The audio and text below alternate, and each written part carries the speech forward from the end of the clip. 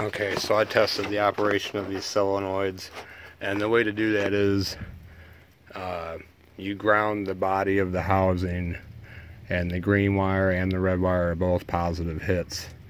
So, um, yeah, both of those seem to be, they're making noise.